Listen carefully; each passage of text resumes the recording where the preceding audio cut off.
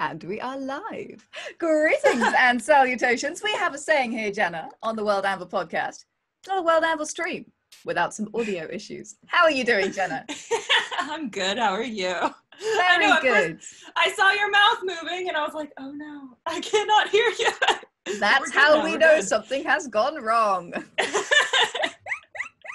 Well, folks, we are so excited today to have Jenna Moreci here to talk to us about writing, uh, world building, marketing our books, all that jazz. Um, Jenna, are you well? Are you hyped to talk to us about writing? I am. I am very well. I am very hyped. Super excited to be here. Thank you so much for having me. It is a huge honor. It is our honor, absolutely. Now, um, our topic this month is pretty much anything goes. We do not have a challenge running right now, but of course, we have summer camp coming up. That is a fantastic chance to do some world building, some writing, do some cool stuff. So, if you want to take part in that, go to worldanvil.com forward slash summer camp. Yes. And uh, you can find out more about that and what it is. But in the meantime, let me introduce Jenna, possibly, possibly, possibly, definitely, indubitably. Here we go. My guest today is the outstanding Jenna Moreci, who is a full-time, best-selling, glorious, fantastic author, YouTube star, and cyborg. Her um, book series include the dark fantasy series The Savior's Champion and her YA sci-fi novel Eve the Awakening. Is that everything? Did I get everything? Yes, and then um, the uh, book that I have coming out next is *A Savior Sister, which Oh, is the second book in the Savior series. So yeah, yeah, yeah, yeah. You can learn more about both of those books and Jenna herself on jennamoreci.com. And she is also, also an expert in self-publishing. So you can find her courses on Skillshare. I am going to put a great big copy pasta in the chat where you can find everything, including, including, which Jenna just shared with me, a little teaser for the Savior's sister. Tell us a little bit about that. Um, well, the Savior's Champion follows a character named Tobias, his journey uh, throughout uh, the Sovereigns Tournament, which is this month long gladiatorial style tournament um, where the man who's left standing gets to marry the Holy Queen of their realm. And um, through the Savior's Champion, you learn that things are not quite what they seem, and um, he ends up falling for the wrong woman. Uh, the Savior's Sister is a companion novel to that. We follow Leila, Tobias's love interest, um, and you you you get to see the other side of the coin. You get to see all of the political intrigue, uh, the manipulation. It's uh, the Savior's Champion is much more blood and guts. The Savior's Sister still some blood and guts, um, but it's a lot of uh, kind of like a game of chess. And you see uh, the Senate, you see um, all of the treachery that's going on behind the scenes uh, in the Palace of Thesson, and there is So a there's a big lot of, like, bombshell. cerebral plotting. We're expecting backstabbing, Ides Yeah. March style backstabbing and front stabbing and backstabbing and front stabbing. If you're gonna stab, stab any which way. That's always been yes exactly so it's been really really really fun to tell uh, her side of the story and it's very important for the rest of the series because you kind of need to know the political agenda moving forward so it's been it's been an absolute blast and i can't wait for it to be live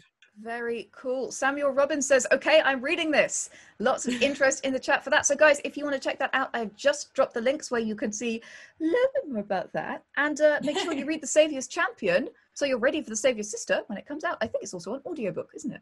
Yes, it is. The Wait, Champion is on audiobook. I love my narrator. Oh my gosh. Not, uh, it's nice to work with someone who not only is really good at their job, but is just like the nicest person in the whole world. Nick Denton. If any of you guys are writers and need an audiobook narrator, I highly recommend him. Ooh. He is wonderful.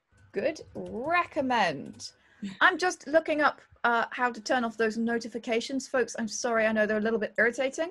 Uh, Demetrius, if you can send me a very quick how-to that I can follow very subtly as we are on stream. Tip number one of show business: make everything look easy. Yes, yes, doing that. But I think it's time to get into our interview. Let's start. Since we've been talking about your books and your trilogy, where do you start a new series or a new or a new book in a series? Like, are you a pantser or a plotter? I am definitely a plotter. I am a hardcore plotter. Um, I I write excuse me, I write the most detailed outlines of anyone I know. I think um, I'm currently working on the third book in a series. It's actually going to be four or more books, um, but I'm currently working on the third book, and I think my outline is about 30 pages long. Uh, and that's because I I dump any ideas that I have in there, even if they're streams of dialogue, if they're whole conversations, I will dump it in the outline. Um, so I always I, I usually start with a very simple, basic plot idea and then the basic idea of the main characters. So it's usually um, the hero or heroine, the love interest, and the villain. And then from there, I add the details i build.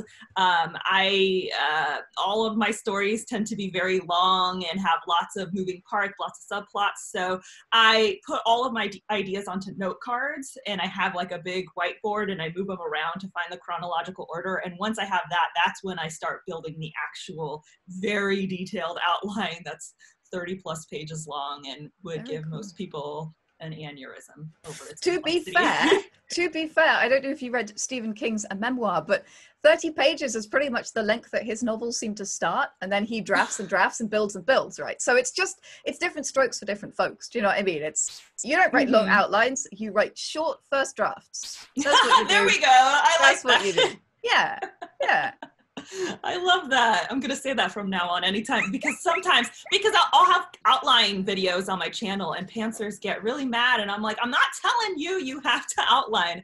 I'm just saying this works for me and it works for a lot of people. Um, so next time they get angry, I'll just be like, I I'm a pantser too, guys. It's just that my uh, my first draft is in bullet points. there you right, go. Exactly, exactly. and you know what? Like we say, this is the plotting phase and this is the writing phase. But do you know what? It's like genre.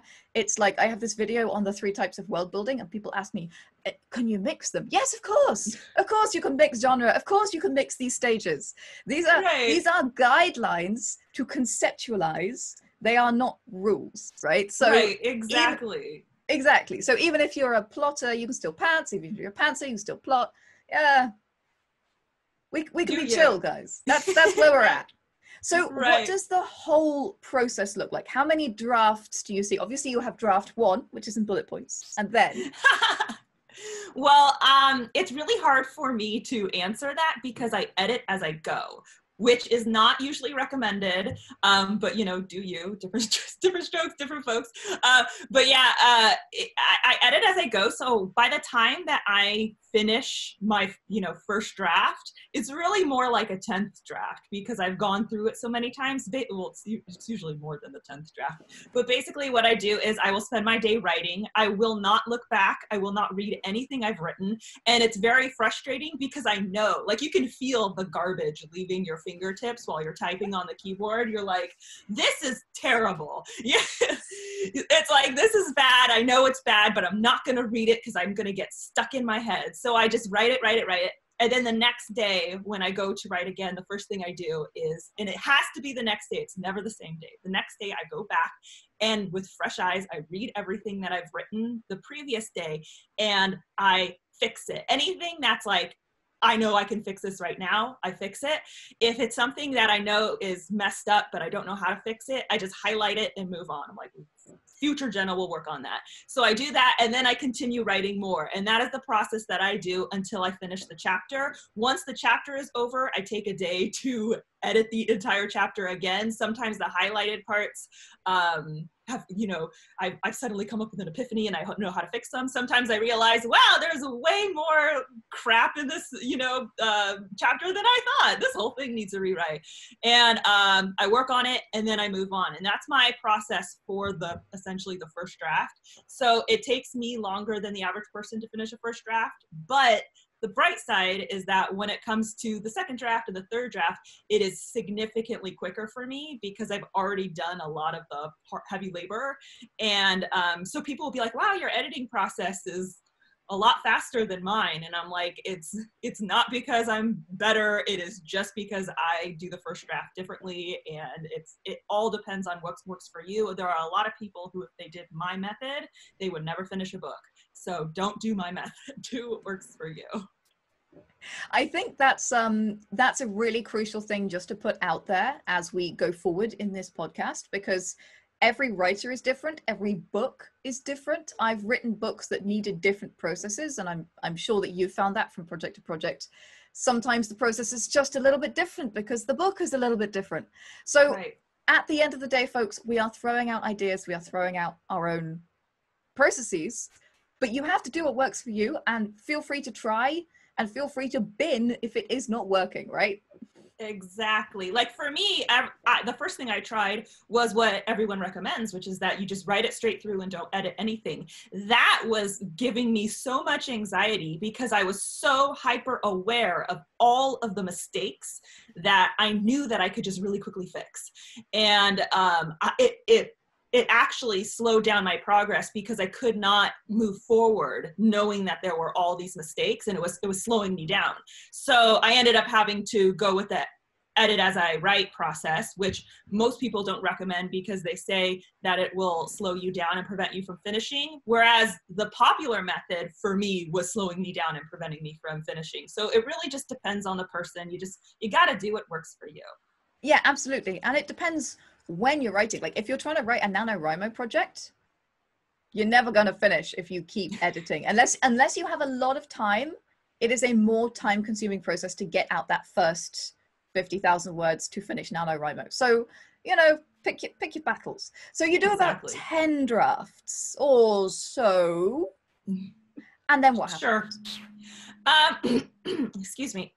so after I go through uh, the drafting process, um, once I have the story in a in a position where I feel like this is as good as I can get it by myself on my own, then I submit it to beta readers. I am very methodical with my beta reader process. I won't have any less than 20 beta readers because I have a finance background. I'm into math and stuff like that. And I like stats and numbers and I like to look for trends in the feedback. And I have a what I call the rule of three, which is if three or more uh, betas point out an issue, the exact same issue, nine times out of 10, it becomes a recurring thing. So once three betas say, I have a problem with XYZ, nine times out of 10, it, more betas keep saying it. So three is the magic number for me. If three people say it, I fix it.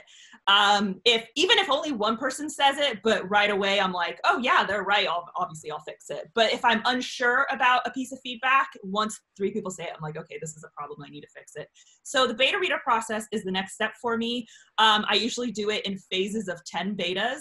Um, so I will send it out to 10 betas. I will make the corrections that they suggest, and then I will send it out to 10 more betas, make the corrections they suggest. And I do this process over and over again until I get to a beta process where 95% of the feedback is positive.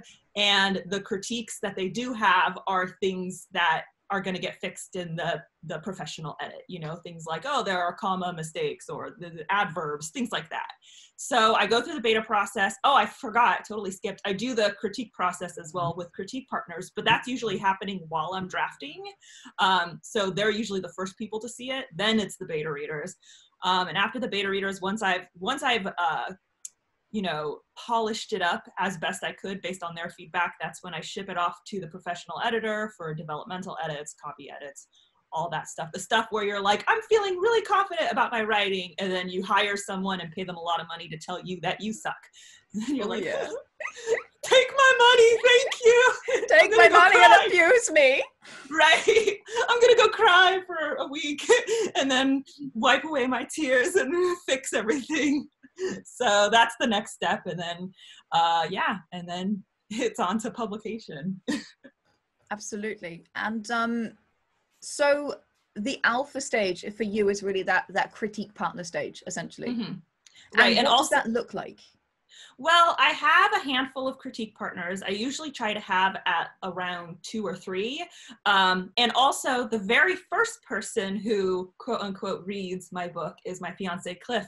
Uh, the thing is, is that um, he uh, yeah, he is disabled. Um, he has a chronic pain condition, which makes it harder for him to concentrate mm. when he reads. So I read it out loud to him, which is kind of two birds with one stone because I get his opinion and also it's the self-editing process of reading it out loud because when you read out loud you hear all the mistakes. And so sometimes i'll be reading it out loud to him and it's an early draft and i'll just have to stop mid-paragraph and be like i'm sorry cliff i need to fix this. This is all messed up. I'll get back to you you know?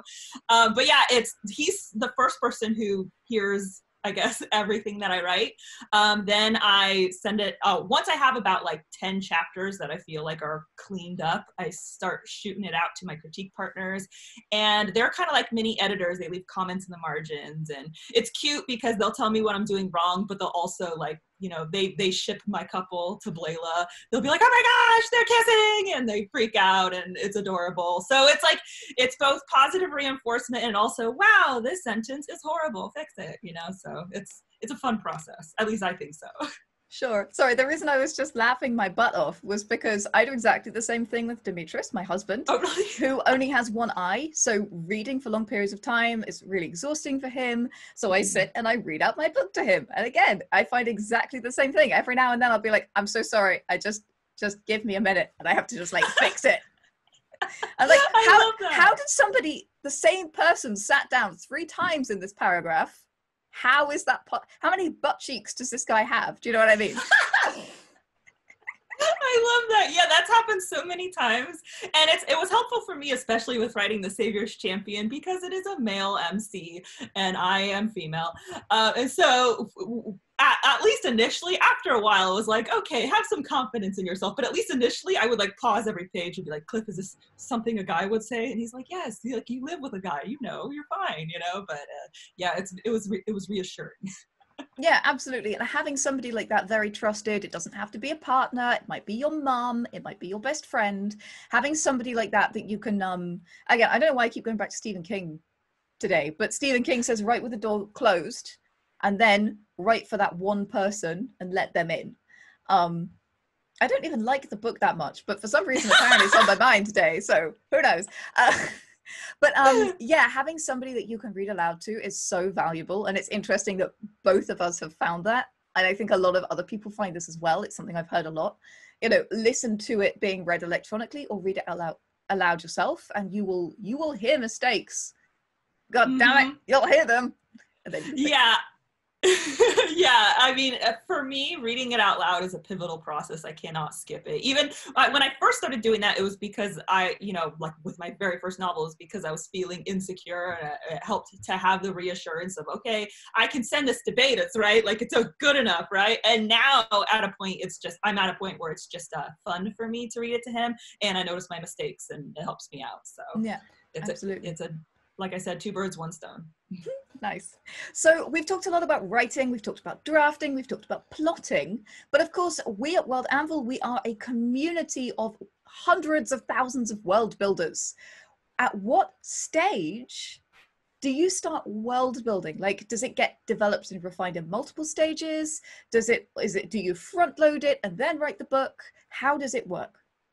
Um, I usually recommend and again it depends on the person but i usually recommend that create the story the the basics the main points of your story and your main characters first and then add the details around it, including the world. And the reason that I say that is because when people are picking up a book, they are there for the story. They are there for the story first and foremost. They read the back of the blurb, and that's why the, the, back of the book blurb, and that's why they're there. The back of the book blurb doesn't usually isn't usually just here's a deep description of the world. The world kind of nestles the story in. It's like the little basket the story is sitting in. So I say personally, I start with the main of the story, the main concept of the characters, and then the main concepts of the world. For example, in the Savior series, like the most basic generic idea of the world is it is slightly Grecian, Roman, and Latin American inspired. So, like that would be the first building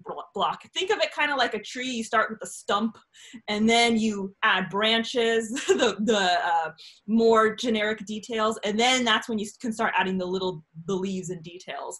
Um, in terms of adding the, those details, for me, a bulk of that happens during outlining um, when it comes to the world uh, because as i'm outlining as i'm creating the story as my characters are traveling or as they're um, you know we're seeing where they live or their home or things like that that's when i start needing those details in the outline. Like okay now we're in their home. What's the home made of? All that sort of good stuff. And then um, i would say at that point the world, at least the world that we're seeing in that story, will be about 75% created. And then as I'm writing the story, you know, even when you outline, there are going to be things you don't take into account. And then as you're writing the story, it's like, oh crap, I did not think about this at all. What, where are we going to add these finer details. So yeah. I kind of do it in stages. I know some people like to sit and I, have talked to people who are like, I spent nine years building this world. And then I'm like, okay, I, I couldn't do that because I gotta, I gotta start writing that story, you know? But some people, they like to sit and just build a total world and then create a story for it for me it's you know it comes in stages and i feel like everything has to support one another because at the end of the day if you create a world and you don't have a story that works in it then what's the point? At, at, least, what's the point if you're a writer and you're right? And you absolutely, want to write a story. Yeah. Absolutely. World building without purpose is world builder's disease. We have a term for. We have an official diagnosis here at World Anvil. It is called world builder's disease. Um, and uh, yeah, if you're just pure world building because you love world building, you could still get world builder's disease. We've covered that in previous podcasts, so you can go back and check that out. But uh, particularly if you want to write a book and you spend nine years world building you have a problem that needs to be addressed. that book is not coming out quickly. I didn't want to say it, but you're right. Yeah, I'm like, uh, people will tell me that, and I'm like, okay, but the book, like, when, if it took you nine years to build the world, how long is it going to take you to write the book? You don't even have a story yet. You're just very infatuated with the world, and then you know that a lot of the facets they built in those nine years are not going to ever be relevant and it's kind of i mean like it's still fun there are so many facets of you know Thesson, the world in uh, the Savior series. There are so many facets that I know will never become relevant in the story, uh, but it's fun for me and I enjoy building it.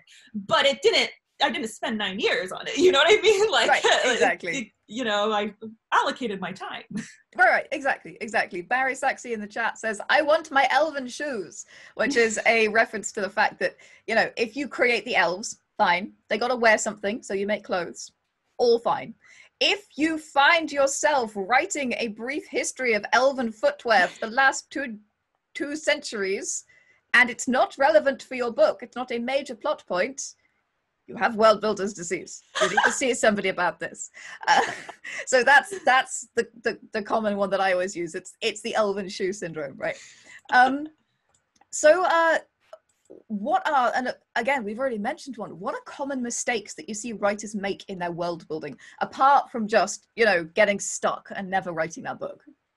The biggest mistake uh, for me as a reader when I'm reading books is when the writer is like, I've built this beautiful world. Let me just dump it on you um, in a massive prologue, or even if they're like, I'm being sneaky and I'm gonna, it's not in the prologue, but half of chapter one is world building, half of chapter two is world building, half of every chapter is world building.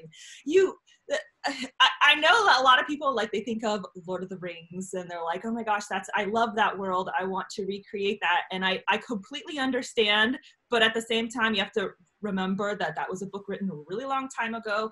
Publishing standards change, uh, reader expectation changes, storytelling practices change. And you can love a particular book um, you can love a particular author like for example you can love jane austen but still recognize that publishing a book written in jane austen style now it would be a hard sell. Um, so my biggest advice with world building is it's great if you've created a world that you love but nine times out of 10, if it's not relevant to that particular scene or situation, the reader is not going to care. It is just going to come across as filler and it's going to be boring. So dump the world in pieces as your character is traveling through it. So if instead of giving this big long exposition dump about the climate of your world, have show your character trudging through snow. And then that kind of tells the reader that it's a snowy climate like hello they can put two and two together. And also um, something to keep in mind at least for me as a reader not only do i find these big long exposition dumps boring, but it's also a bit of an insult to the reader's intelligence because it's assuming that they're not smart enough to put the context clues together. Like if you're trudging through snow, then I can tell that this is the kind of place that snows. I live in California, it doesn't snow here, so I already know that it's not going to be the climate I live in. I can figure that out on my own. But um, if you then go on with a page waxing poetic about the climate, I'm going to be like, do you think I'm dumb? Like, you think I couldn't figure that out based on what you told me? I, I could figure it out. So, um, as much as you may want to just dump a ton of description about the world in your story, refrain, resist. Let the so, reader figure it out. So, I guess, um, and what I love there is that you've given us a little bit of a, a solution there as well. Basically, so expo dumps we've talked about them before on this podcast. They're a big problem. And um, again, one of the reasons that World Anvil is so useful is that you can do the expo dump in World Anvil, then pull out mm-hmm. the salient details for the novel. And then you still exactly. have all that world building saved somewhere. And and then you can use it in bits and pieces. What are some other ways that you can sort of show rather than telling world building, which is, I think, what we're talking about here, right? It's about delivering it in a shown way rather than a told mm-hmm. way. Exactly. I I, th- I think it's literally think about the word show. Think about visuals. Um, so, for example, instead of giving a big long dump about this is what elven shoes are like, you know, in the history of their shoes, you just describe what the character is wearing. That immediately gives them an idea of what the, the clothing is one of my favorite world building pieces because it immediately um, lets the reader know about their culture. It lets them know, it can let them know about gender norms. It can let them know so many things. Are the women all wearing dresses? Are they wearing pants? are are the men wearing kilts i mean like it, it, it can show so much information just by saying describing what a character's outfit is so i look at it as go into a new scene when you're entering a new room or situation what do what does your character see? Describe that. What do they see that is brand new to them. Describe that in detail because that's the stuff that they're really going to be taking in because they're not familiar with it. What are they seeing that they are so used to it's not a big deal? That's the stuff you're going to skimp on the detail because it's not quite as important to them. If, uh, for example, if a character is speaking a language they haven't heard of, that might be something where you're describing how the language sounds. If they're speaking the language they the mm-hmm. character speaks, you're not going to have a ton of description about that because that's that's their normal language. It is just, you know, day in the life. Yeah. Um, another thing I would recommend is using your five senses. Um, that is something I think about every time I set the scene. Think about what you're seeing, what the character's tasting. I know that sounds really weird, but if they just got out of a fight, they're probably tasting sweat and blood, or they might be tasting the remnants of smoke. Um, uh, what they're smelling. Smell can totally set the scene and describe a world really easily. If it's humid, it might smell kind of thick and swampy you know if it if they're in a really scary situation or a gross situation maybe they're smell uh, maybe they're smelling something gross that i wouldn't want to describe you know uh, and if they're like if you're trying to set a romantic scene or this is like a you know like a beautiful bedroom with silk pillows and there's a beautiful woman in a jeweled bra or something like that maybe they're smelling perfume and incense you know you just think about all of your senses and that will create a much more visceral experience for the reader while also building the world and making them feel transported as opposed to making them feel like they're reading a history textbook you know? Make them feel like they're in the world versus i'm at school learning about it. Right absolutely. Um, i think the other thing that that i love to do um, and i'm sure that this is something that you do and have talked about but um, it's it's just something that i have found very very useful when talking about exposition is putting things in motion with powerful verbs Yep. So I am much more interested if you describe something that rockets across the room than that is sitting on a table. I exactly. want to know about the thing that is rocketing across the room in front of my eyes. I want to know about the, the person that is talking to me in this. Not that I read a language that is static, but somebody talks to me in a language. So giving, putting world building in motion always makes your world feel more alive and more mm-hmm. vivid, but it also gives you a chance to use active verbs and it gives your um your protagonist a chance to react as well essentially exactly Exactly. And active verbs in general, it's just going to benefit your writing. I'm always telling people, like, if you're writing a fight scene, don't do the technical fight choreography terms. Use words like blast, slam, thrust. I mean, that could be used in other scenes as well. But, but you know, use those powerful verbs because that will make them feel like they're there seeing the fight firsthand or feeling the blows, you know? So just powerful verbs in general. I'm always like, if you can find a verb that fits the scene and really transports the reader, that's what you want to go with. So yeah, I agree. Yeah. So we've talked about writing, we've talked about world building. Um, time is ticking on. You are, of course, an expert in self-publishing as well. You have a degree and a background in in finance business. and, yeah, and and finance, business. yeah. Mhm. Um, what's the number one piece of advice? And I, I'd love to have you back just to talk about this, but uh, we're kind of kind of doing a bus tour of everything Janet today. so I wanted to sort of touch on everything. Um, what's the number one piece of advice you would share with anyone who is considering self-publishing? That is, has not already self-published, but is, is thinking about going that route. Um, I have two pieces of, of advice only because I couldn't, can't decide which one's more. That's they're cool. both, yeah. So the first one is, and this is for anyone if they go self pub or traditional, understand that it's a business. At the end of the day, yes, you are an artist. You are creating art. You're creating a world. That is fine. But you, if you're going to sell that art, as in selling books, it's a business. So you need to adopt a mentality of this is half art, half business, and you need to educate yourself on it. Um, educate yourself on the publishing landscape. Educate yourself on both self-publishing and traditional publishing, so you can be aware of industry standards. Um, I basically, while I was writing my debut novel, I uh, spent maybe a year or two focused at while I was at work and supposed to be working. Um, I was focused on learning about publishing. So I would be at work, you know, like Googling uh, publishing articles and reading books about self publishing and things like that. So it's not something that you, I, I wouldn't recommend writing the book and be like, okay, I'm going to self publish. Now what? You should be figuring this out along the way. Also understand that the industry changes. So sometimes you will learn something about the industry and then the, you know, whole rules change and you have to learn it again. You have to learn a whole new process. So uh, it's a it's constantly evolving. The learning never ends. I learn new things every single day. Um, so talk to lots of authors get lots of opinions you know interview people network and understand the business side of things or else it's, it's going to be a really really rough ride. My other piece of advice is hire a professional editor. Just do it. Just hire someone. You will be so glad you did um, and you will kick yourself if you don't. Good, very good piece of advice. Um, I have read a lot of self-published books. Um, overwhelmingly, not all of them, but overwhelmingly, they have had editorial problems in the first couple of pages that could easily have been Mhm. Solved just with a good editor. Any tips on finding a good editor? Because uh, there's a lot of people out there who say they are editors. There's a lot of Yeah. self-published authors who proudly say, "I hired an editor. Here's my book," and I look at it and I go, "Oh no."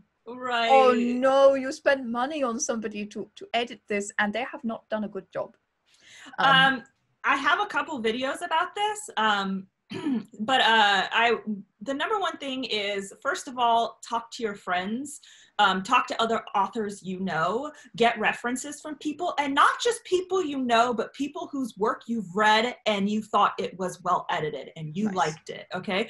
Um, because there's a lot of people that i've known who they'll be like oh yeah i'm an editor and i like the person but i know i know you're not a professional editor. I know that you're just an elementary school teacher. And no that's not hating on elementary school teachers but that's not that's not for being a professional fiction editor. Um, so talk to people um, get references and then vet them. And i mean thoroughly. And so go to their website. First of all if they don't have a professional looking web website that's already probably not a good idea. Um, compare their rates to other people. If their rates are astronomically higher it, they could be um, fronting as oh i'm charging a premium for a basic service. Um, if their rates are significantly lower it might be because hey i, I i'm a scammer and i'm just trying to get whatever you know um, customers i can um, also look at their credentials if they have them available um, editors require training and background um, just like all other professional jobs. Um, so something like I said, like being an elementary school teacher or a high school teacher, that's that that's great, but that's not uh, training for being an editor. Um, you know, uh, proofreading an essay, correcting an essay is not the same thing as um, editing a fiction manuscript. It's just not. Um, if that was the case, I could be an editor because I'm great at proofreading essays, you know, but no, I, I can't because I don't have the proper training. Um, and then one thing a lot of people forget to do is most editors have a list of some of their past work on their website. Um, if they don't, that is really sketchy and should be a red flag. If they've got a list, those books are available on Amazon pull up the teaser and read them. If you find mistakes right in the first few pages, that's a bad sign. It could be, it could be that the uh, author, because just because you hire an editor doesn't mean you have to input their feedback. So it could be that the author said, I like it the way it is and I'm keeping it.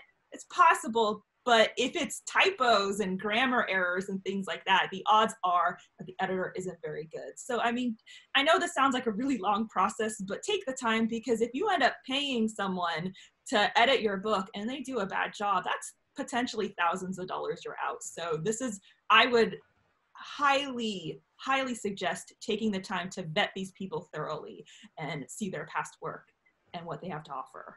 Fantastic. And um, what I'm trying to trying to read my own questions and I'm struggling terribly. Sorry. Uh, Lord knows what's happening here. I beg your pardon. Um, uh, what are the most common mistakes you see amongst self-published authors? Um, number one, not hiring an editor. That's probably the biggest mistake I yeah, see. Yeah. And I, I understand it's expensive. Editors are crazy expensive. But number one, it's a really boring job. It's a really tedious job. They have to trudge through your crap and fix it. That's not fun. So I personally think they're getting paid what they're worth because they're they, a proper editor can will can and will make or break the success of your book. So not hiring an editor, um, doing your own cover art, unless you are skilled in graphic art. Some people are. If you're skilled, I guess have at it. But um, a lot of people aren't, and they think I'll just go to Canva and make it myself. And we can tell, we can tell you made it yourself. And if readers are going to think if you didn't take the time to like get a professional cover, what's the inside of the book look like? Because the cover is the first thing people see. It's your biggest marketing tool. And if you, you know, have asked that, then going into the book, they're going to think it's it's going to be more of the same. A lot of you know second tier work. Um, also, like I mentioned before, not really understanding the business. There's a lot of I wrote a book, I put it on Amazon. How come no one's buying it? And it's like, well, did you market it? No, was I supposed to? Did you build an author platform? No, was I supposed to? Did you develop an audience? Is that something I'm supposed to do? I thought I just put my book on Amazon and people buy it. That's never going to happen. There are millions of books available for sale all over the place. What are the odds that people are going to randomly stumble upon yours, a book they've never heard of by someone, an author they've never heard of, and they say, you know what, I'm going to part with my hard earned cash and buy this book on a whim that I randomly stumbled upon that is written by someone I have no idea if they're any good at it, but whatever, I'll just give it a shot. It's not going to happen. So you need to start early building an author platform. You need to start early trying to accumulate an audience. And that way you have someone to sell the book to, people who are invested in you and your writing. So those are the biggest mistakes I see. And I mean, these things can literally just, it'll be the difference between zero sales and thousands of sales. So do, the, yeah. do these things. Yeah. Going back to uh, why editors are expensive, I just wanted to add that it is hours and hours and days and days of their time. Mm-hmm. Novels are big. If they're mm-hmm. doing their job properly, it's going to take them time to actually read through carefully and make sure that they are editing it properly. So that is right. the other reason um, mm-hmm. that editors and, are expensive. Just want to throw and, that in there and people love to think but my book is special. My book is so good that this is an honor for them. And it's like you're hiring an editor because your book is not good enough right now to be published.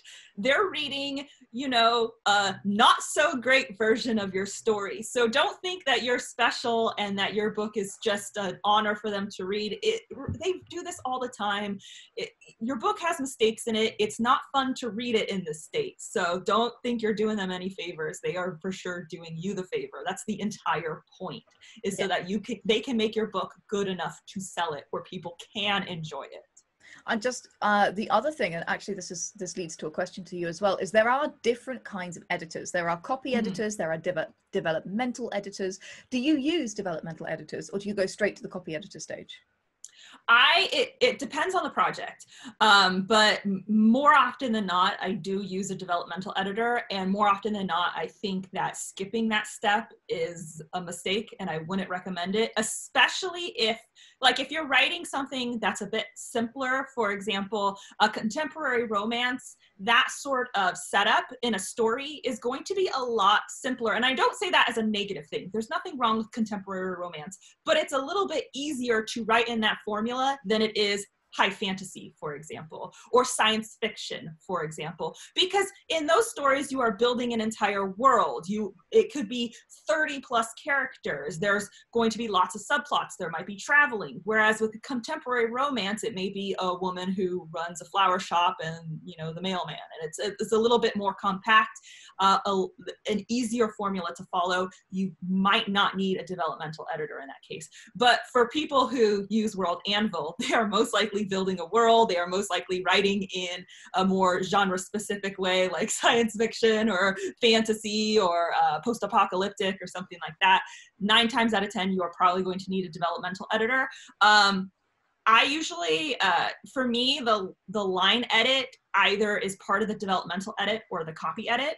Um, so I usually end up having to hire two editors. So it's either a developmental and line edit bundle and a copy edit, or a developmental edit and then a line edit copy edit bundle.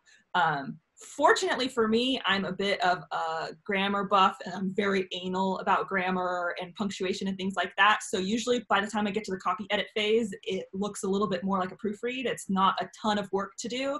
But even with that said, I would not recommend most people skip the copy edit either because not everyone is anal about commas like I am. you know what I mean? Like a lot of people, they really, you know, don't understand that stuff. Let someone help you because it's really, really uncomfortable reading a book that's filled with grammar errors. It'll yeah. completely suck you out of the story. So I wouldn't skip a copy edit either.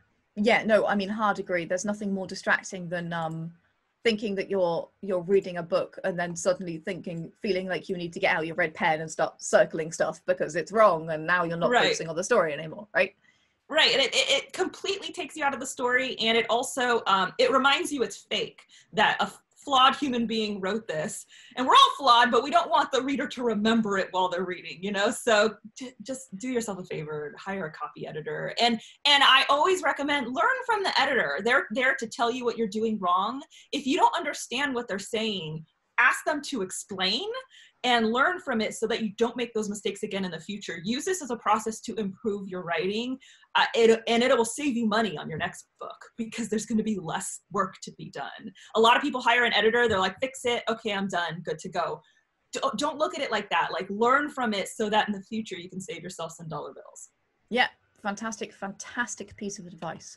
All right, folks, I think it's time to jump to some audience questions. And my goodness, there's a lot of them. Fantastic. nice job, guys. We will get through everything that we can, and hopefully, hopefully, one day Jenna will come back and talk to us again, and uh, and ask us some more questions. She seems amenable, people. Let it be remembered. All right. Our first question is from Melu Plays, who says, I'm writing sci fi and I know some of the tropes of the genre, but not all of them. Should I research more to apply them on my novel or write without focusing so much on them? I always recommend reading while you write, um, but I personally recommend uh, reading a multitude of genres because the more genres that you are well versed in, the more you can make your work uh, stand out. And I'm not saying that should be your goal, like to be hyper original, because sometimes people, when people are so focused on uniqueness, it just it, it doesn't work out. Things can um, go wrong Yeah, exactly. So, but I, I would recommend reading as many genres as possible, um, getting yourself well versed in all different types of styles. Um, I think it's impossible to know all of the tropes in your genre. I mean, I I love fantasy, I love sci-fi, and I know I don't know all the tropes because there are thousands. There are so many tropes. A trope is basically anything that is common within storytelling and everything that we see in stories has, been done before. It's everything is a trope. So i wouldn't worry too much about not knowing all sci-fi tropes because that is a high hill to climb and you're never going to reach the top. I would just i would just focus on reading absorbing what you can and don't set that high of a goal because the you're ne- i mean i don't mean this in a mean way but you're never going to know all the sci-fi tropes because there's probably thousands out there Right, exactly. It's like spending nine years world building. It's it's at the end of the day, it's more of a distraction than it is a help. Um, Mhm. I would also add that there are so many different genres of sci-fi. So Mm-hmm. sci-fi is a big old genre with a lot of subgenres. Like fantasy is a genre, but Harry Potter is not. Twilight is not. I don't know.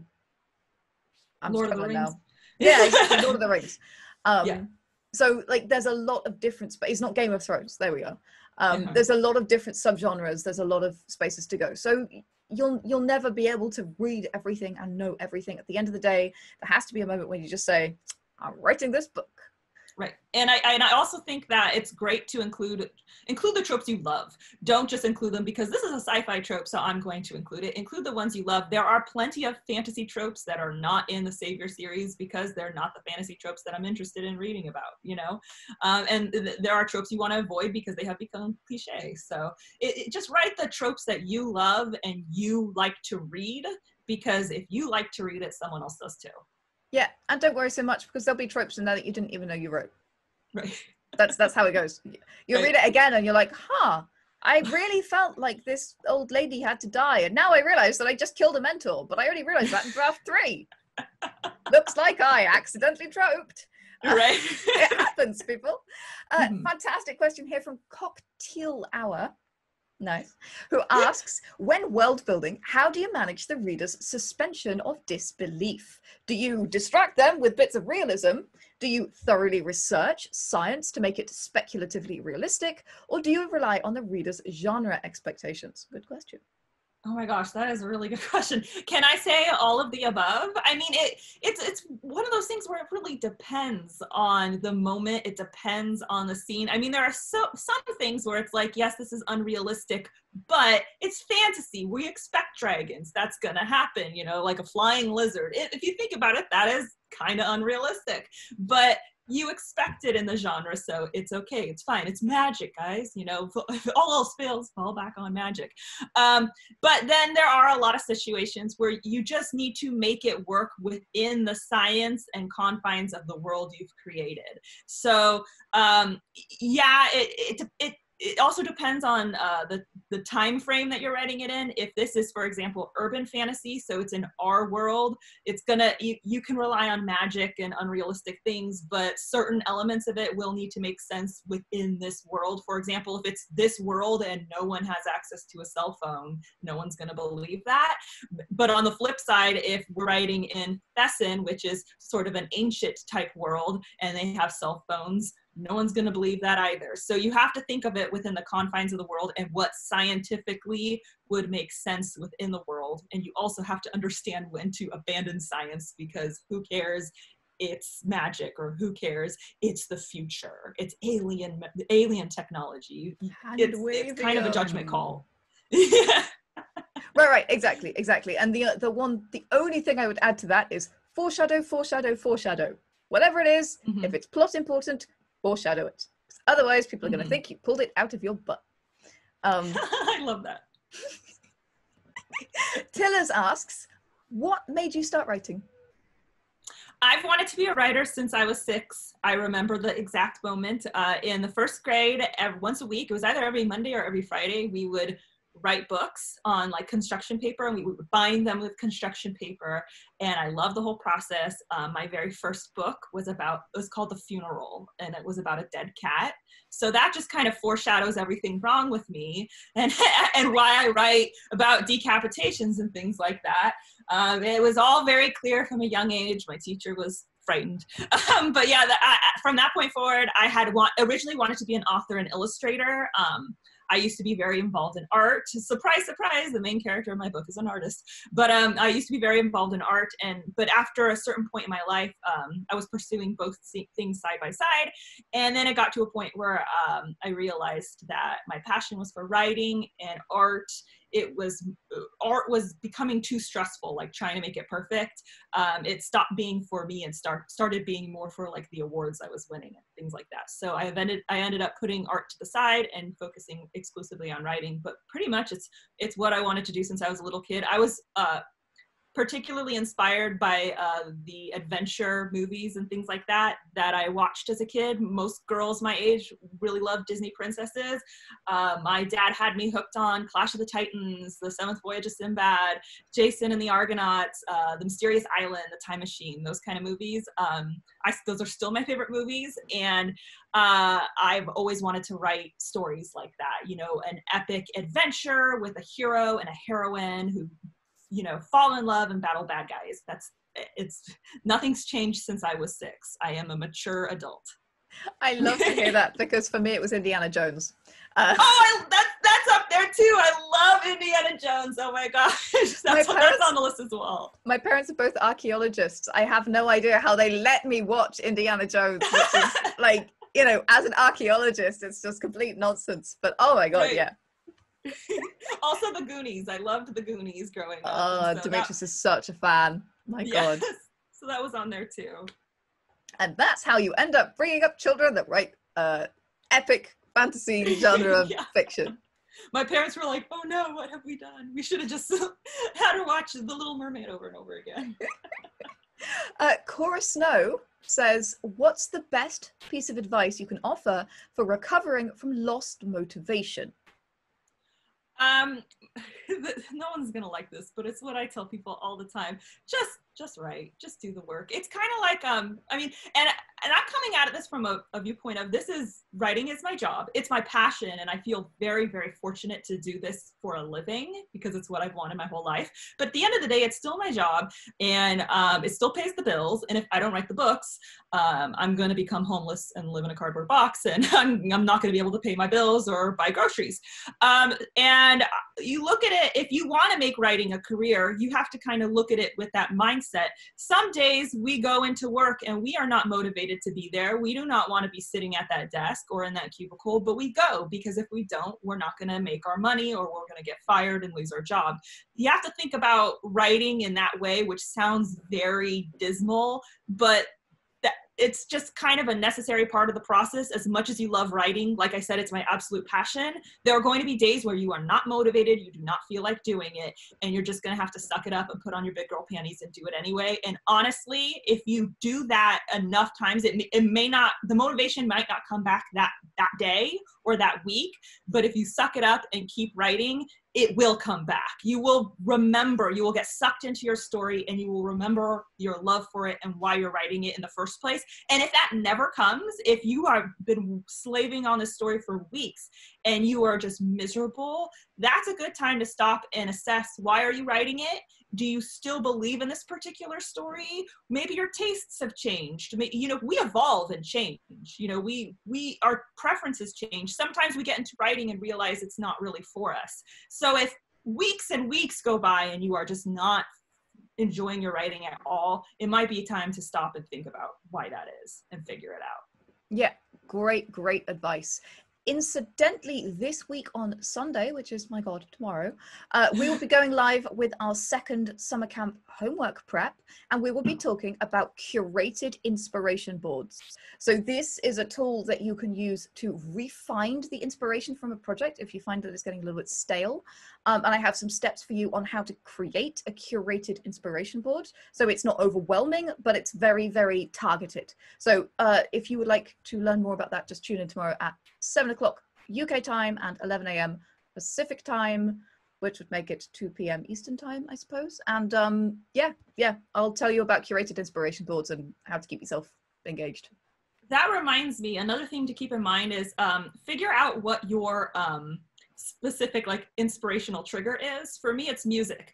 Every time i listen to music it's music i like specifically i get ideas for my stories. So for example um, i'm working on the third book in the savior series right now and it's been after a long break of not writing because i was getting the savior's sister ready for publication. Now i'm starting this book and it's been a long break and i feel totally out of the writing groove because i haven't written in months. So what have i been doing? Every single day i've been listening to my writing playlist and it's been getting me all excited and amped to write. It's been giving me so many different ideas for me. That is my inspiration trigger. I listen to these songs and I see the characters in my head. I see them battling, I see them making out and all that stuff. And I get really, really excited to write again. So if you can find something that just gets you in the zone like that, you know, cling to it, hang on yeah. to it, you use it when you need it. Yeah, absolutely. And try different things until you find something that works. Mm-hmm.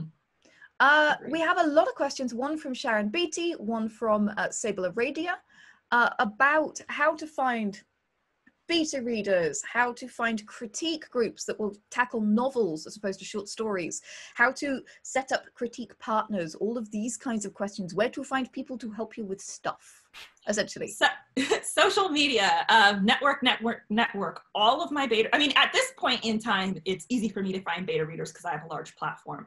But um, when i first got started i would just post on facebook will anyone read my book this is what it's about. Um, i just need feedback. And a lot of people like to read so you'd be surprised how many people will respond but you got to make it sound appealing okay? A lot of i see a lot of people saying will someone beta read my book? And then that's it. No i don't know what it's about you know? Say say i'm looking for people to read my book and offer feedback on whether or not they liked it. This is what it's about. We've got dungeons and we've got princesses and we've got explosions you know? Like let let people know that it's going to be an exciting read. It may not. They may end up disliking it but you know sell it. Um, get people interested and just put it all over social media. This is also why it's so important to start building an author platform because if you are just if you have like five followers on twitter and you post on twitter um, please beta read my book. You're just shouting into the void. No one's going to hear you. So mingle, follow writing hashtags, join writing groups. I mean, I'm sure you could find beta readers on World Anvil. Like that seems like, you know, like a very obvious place to be able to find people because everyone here is building worlds and a lot of them are writers. Um, I have my own writing group on Patreon called Cyborg Central. We have an entire channel devoted to finding beta readers and another channel devoted to finding critique partners. So people will join just to go to those channels and be like, I need a critique partner help. There are like 700 people in the group.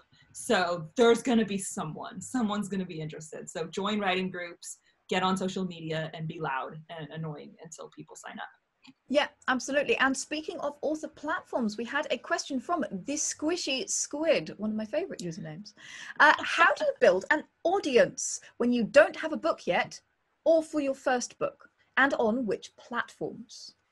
Um, that okay, I'm gonna try and be concise. Um, it completely depends. A lot of people think you can't build an audience until after you have a book available. Um, the best time to start building an audience is before you've got a book. Um, the way you do it is first mingling and networking with the writing community as a whole. Make yourself known, meet other writers, because guess who likes to read? Writers. So if you mingle with the community and build a network, you are potentially building a readership. Um, then it if you look like for example at my platform i chose youtube because to be frank a lot of people told me i'd be good at it. They're like you have the personality for it. I'm an introvert like most writers. It was not my first choice. I did not want to put my face on the internet but i tried it out because uh, i heard i'd be good at it. And now i have 213000 subscribers so clearly someone was right. Uh, you, you test out the different platforms based on what you think you'd be good at, what other people think you'd be good at, what you're personally comfortable with. Um, I say that with a, a, a little hesitation because um, I was not comfortable with YouTube. Sometimes you have to risk it for the biscuit. Um, but what I mean comfortable with is by that I mean um, if you try it and you're doing it for a while and it just doesn't sit right with you, you're not enjoying it, then try something new. Um, and then in terms of what to say and how to acquire that audience, uh, keep in mind that this is going to sound mean, but whatever. People are inherently selfish. They are on the internet looking for something for themselves to enjoy, something to help themselves. Um, you are here on World Anvil because you want to build a world. Uh, that's that's why you're here. It's it's for you. That's not a bad thing, but that's something you need to keep in mind when you build this platform. People are, for example, if you go to YouTube, people are not on YouTube thinking, "What potential writer can I help today? They're there for their own entertainment.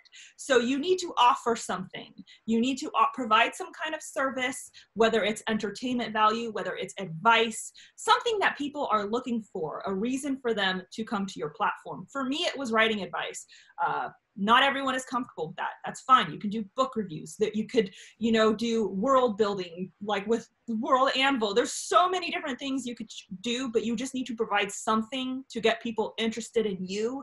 Once they become interested in you and they are there they start to be become interested in you as a person. And that's when you can start being like, hey guys, by the way, my name is Jenna Moreci and I am a writer and this is what I'm working on. Uh, but you need to offer something for them first or else they're not going to have any interest in your platform.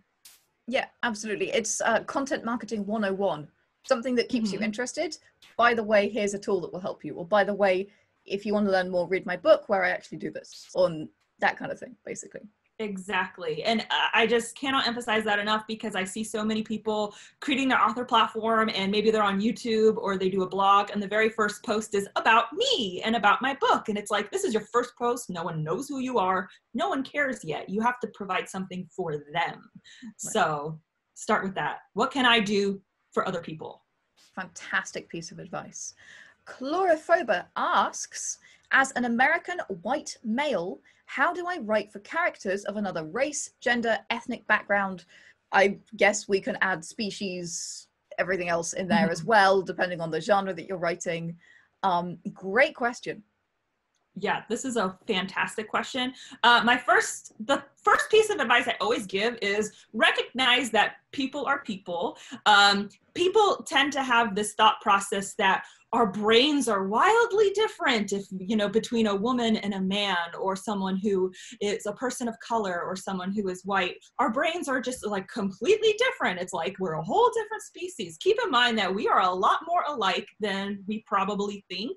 Um, and a lot especially when it comes to gender a lot of the differences um, are more societal expectation. For example, um, it is considered societally appropriate for women to cry, whereas if a man cries, he's probably going to be told to man up. Men don't cry. That you know, th- but men still feel like crying sometimes. Men still get sad. It's not like they are incapable of experiencing emotion. So a lot of the differences between people are more societal expectation than anything else. That doesn't mean there aren't differences, you know, but just keep in mind that a lot of it is expectations. So yes, maybe you're, for example, you're a white man, maybe you're writing a woman. Um, just because she's a woman doesn't mean she should be crying on every page. She think, you know, she, it, it just means that if she decides to cry or she feels like crying, it would probably be considered okay according to society. Um, the other thing I would always suggest is recruit beta readers and sensitivity readers who represent the people that you are writing. Okay, especially outside, especially if you're a, a white man or a cisgendered straight white man, I would definitely suggest recruiting beta readers and sensitivity readers. That's not to say like if you're a cisgender straight white woman don't don't recruit them. I recruit them. Um, get their feedback um, because sometimes you will do your best and you still write something that's inaccurate or offensive. Get the feedback um, and listen. Actually listen to what they're saying. Don't get defensive and be like well it's my book you know? Like listen to them. They're your readership. They know what they're talking about yeah, absolutely. And remember that um, I, I loved your example, um, you know, straight white men don't cry. Um, yeah. That is true in America. That is not right. true everywhere in the world. It is true in Britain. Nobody shows any mm-hmm. emotion whatsoever. We all look like this all the time. Um, but uh, sorry, podcast listeners, you cannot see mm-hmm. my weird chicken faces. Um, but uh, that's not true everywhere. And remember that if you're here, I'm assuming that you're writing fantasy or sci fi, you are building the cultures. So look right. at the norms for different racial groups, different cultural right. groups, different uh, gender groups in your world, and look at those norms and then decide when somebody is crossing a boundary within those. Because actually, you're creating the whole space. You can do whatever exactly. you want as long as your readers buy it. Uh, that's something like with uh, the the world in the Savior series. Um, I made it a more sexually fluid society. So, for example, in the U.S., if a woman has lots of sex, someone might slut shame her. That's not really going to be a thing in Thessen because they are a more sexually fluid society, and they it's not that's judging someone based on their sexual activity is not really a thing. It might be a thing in other realms in that world, but not within Thessen. So those are also definitely, I 100% agree with you. Those are things to keep into consideration. You're building this culture. You have the power to make it however you want. So um, just because men don't cry or are, you know, frowned upon for crying in the US doesn't mean that's going to be the case in your world. Right, exactly. And uh, I think probably our final question for today from David Corkett. Very good, very good question. What do you think is the most important aspect in your world building for your books? For me, it's the most important and my favorite, and this is my favorite as a reader as well, is culture. Um, the, you know, the clothing, the holidays, the religion, that kind of stuff. For me, that's what really makes a world shine and stand out is what it is the culture, their customs. Um, you know, for example, like um, in the Savior's uh, Champion, there are things called royal drapes. They're kind of like togas, um, but different. And um, they have a color symbolism. So each color represents something different. Those are the things that i live for when i'm reading. I like the bits of culture. I don't care so much about what the trees look like or the climate or the like uh, architecture specifically. I want to know how these people interact what you know the gender expectations are things like that. That that's oh i love that stuff. Fantastic fantastic. So it's all about that sort of human experience or or right elf experience or sapient species experience, shall we say? Exactly, exactly. I, I live for that. Fantastic. Lots of people shouting about sensitivity readers. Use them. They are very valuable if you are writing the other, whoever the other is. And uh, it's very easy to um, make assumptions or not explain things properly or various other things. Just, just find a beta reader who's a sensitivity reader if there's somebody who you're not doing a favor for, like you're reading their book as well, then uh, make sure you pay them. And uh, mm-hmm. yeah, yeah, good stuff. They're basically. all they're all over the place. And even if you think you are the most well-adjusted, open-minded person, you you may not be. You, you can still make mistakes. It's human nature to make mistakes. Hire these people so they can help you make less mistakes. So exactly um, and and the real question is not what you meant but how it is interpreted on the page. And that's exactly. that's the thing. You never know that because you are in your own head. Somebody mm-hmm. asked is there a is there a downside to editing your own work even if you are a trained editor? Um, and i would say that's that's the downside. You don't see your own mistakes in any right. forum. You don't see them or they'd be gone already. Mm-hmm exactly. Uh, it, it you need a, a fresh pair of eyes someone who is not emotionally invested in the work. You need you need a different person. And but if you're an editor you must have a lot of editor friends so talk to them. Get but you you do need someone who is not emotionally invested in it because oh man but once that other person comes in and tells you you know you use this word like 50 times you're like, oh my gosh, how did I not notice? You didn't notice because it's your book, because you you are too into it. Yeah, yeah, absolutely. Well, Jenna, I have one final question for you. What are you working on now, and what can we expect to see next? Uh, well, right now I am working on getting The Savior Sister all ready to go. It comes out in September, September 29th, I think. Here I am, like forgetting my own book's release date. I'm pretty sure it's September 29th. So um, I've got a massive pre-sale giveaway going on. So if anyone wants to pre-order uh, TSS, there's also an uh, pre-sale giveaway entry form you could enter in, and I'm handing out over 35 prizes constantly. Um, so you can check my channel, youtube.com slash Jenna Moreci for details all about that. Um, so that's what I'm working on in terms of my writing. I am working on the third book in the series, which its name I cannot yet reveal because it is spoil yeah, it is spoilery toward the Savior's sister. So, um, but yes, that one is in the works, and I'm very excited to be back into writing. Very, very cool. Well, Janet, thank you so very much for coming to hang out with us today and sharing your expertise. Thank you. It was an honor and a privilege. Oh, well, um, I, we were just thrilled to have you here. There's been so much hype. The chat has been full of, oh my God, Janet and Jenna in the same stream.